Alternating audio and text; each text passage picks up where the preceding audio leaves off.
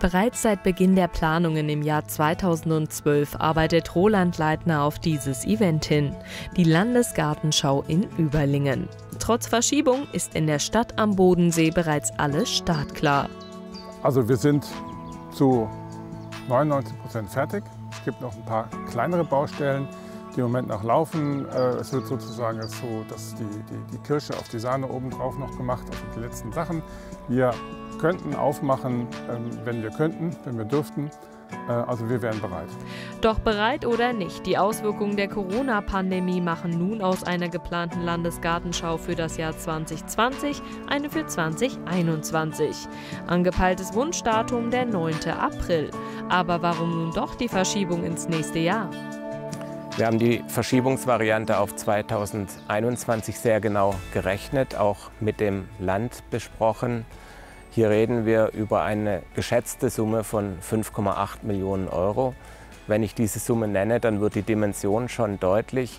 Und für uns als Stadt Überlingen war immer klar, das können wir alleine nicht stemmen. Deswegen der enge Austausch mit dem Land Baden-Württemberg und wir sind der Landesregierung sehr dankbar, dass sie uns hier den Rücken gestärkt hat, dass wir eine tolle Lösung gefunden haben, wie wir gemeinsam diese finanzielle Belastung für unser Land tragen können. Mit viel Arbeit und Investitionen wurden zahlreiche Beete, Installationen, Spielplätze und mehr in den fünf Ausstellungsbereichen aufgebaut. Über einen rund sechs Kilometer langen Rundweg soll man so nicht nur das Füllhorn der Garten- und Landschaftsarchitektur kennenlernen, sondern auch die Stadt selbst.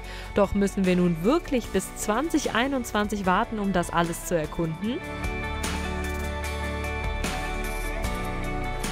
Das ist ein Punkt, der sehr gut nachvollziehbar ist. Wir haben hier steuerliche Zwänge. Äh, wir dürfen ein Gelände nicht vorab öffnen, weil es eben im Landesgartenschaujahr eintrittspflichtig sein wird. Wir haben natürlich die Möglichkeit, bereits jetzt, was Pflanzungen angeht, das Jahresprogramm zurückzunehmen. Wir werden das Gelände selbstverständlich auf einem aktuellen Stand erhalten, aber die verschiedenen Flore, die ja angedacht werden, werden natürlich dieses Jahr nicht zum Zuge kommen. Aber aufgrund der Tatsache, dass bis zum 31.08. sowieso keine größeren Veranstaltungen zulässig sind, glaube ich, ist es zu verschmerzen. Und ich habe aus der Bürgerschaft jetzt schon gehört, jetzt haben wir halt noch ein Jahr mehr Vorfreude auf unsere Landesgartenschau Überlingen.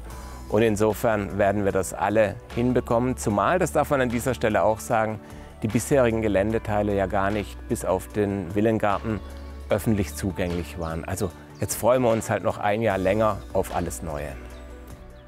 Den Rückhalt und die Unterstützung für alles Neue in der Bevölkerung spürt auch das gesamte Team der Landesgartenschau in Überlingen.